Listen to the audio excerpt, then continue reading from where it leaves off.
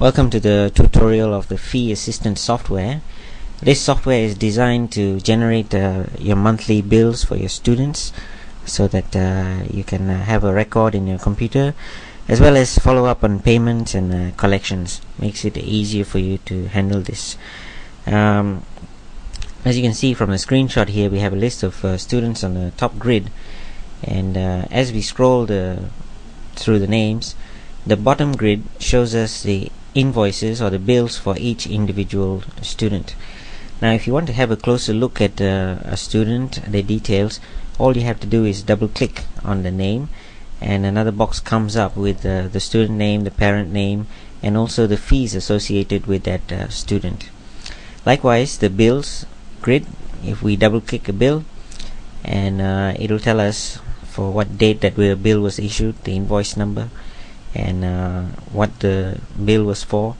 And we can also record payments and so forth. This we'll go into a bit later. But uh, before we can uh, do all this we have to tell the computer what fees we have in the school. So to do this the first thing that we want to do is set up the fees.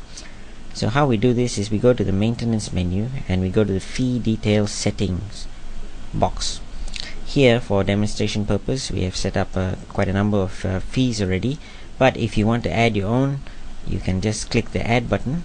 And here we will type in a new fee uh, English lessons. Okay we can uh, tell the computer what type of uh, fee it is whether it's a monthly fee or it's a one-time fee or it's a registration fee. If registration fees are only charged when uh, the student enrolls for the first time. So when you make the entry into the computer for the enrollment the registration that fee is generated and uh, given a bill number. So let us uh, just uh, set this fee as a monthly fee and you can uh, tell the system from when to when this fee will be applied. For example I can just apply it from uh, January until June if I want to or July. Or I can extend it to uh, September or maybe right away to the whole year. And of course we have to tell the computer how much the fee is. So here on the right hand side you can see that the computer has generated for each month this is how much the fee will be 230 230 and so forth. Let's say for some particular reason in May I won't be charging 230 I'll be charging a bit less.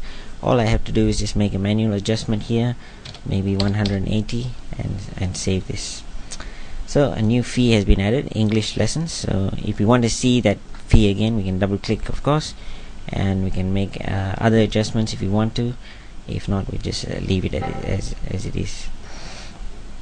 So here we have the list of all the fees that are available in our system.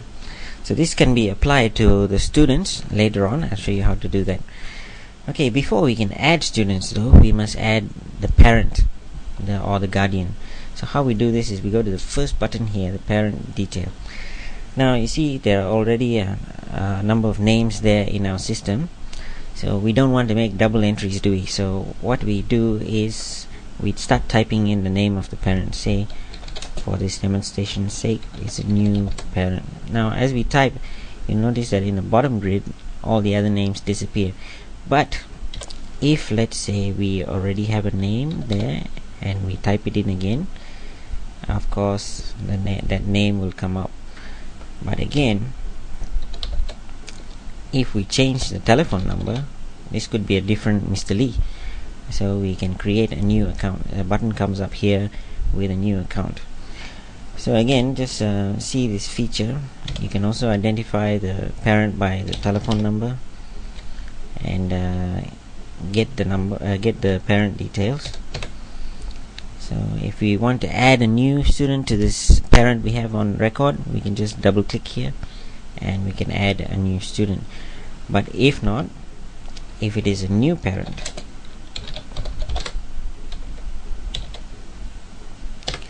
we have this new uh, button here which helps us create a new record. So we click here and what we type there has come up new parent. We can just give a few more details if we want to. Uh,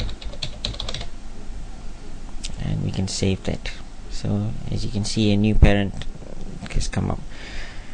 Alright before we save that we can have to add children to it. So we add a child. And we can say a new child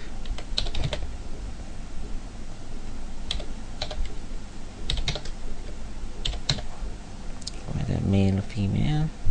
And we can give a class code if you want to.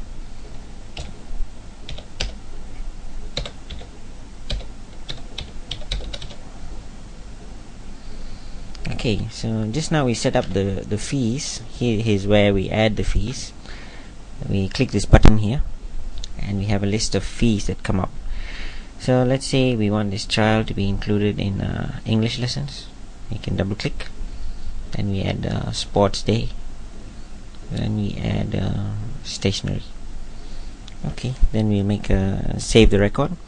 Now it's coming up here. Registration bill not yet printed because this is the first time the student is being registered.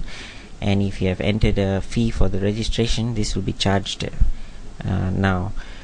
So we can uh, either go ahead and charge it or we can delete the fee and not charge the registration fee. But we'll go ahead and print the print the invoice. See the invoice comes up here. This is the bill for that registration fee. Okay we can print it. So once we've done all this we can uh, go ahead and save. Here on the invoice schedule we can have a monthly invoice or we can combine several invoices together with the first month. So but we will keep it as a monthly invoice and we will save it now if you want to search for students you can go ahead and click this button start typing in the name and it will filter out all those who come under that name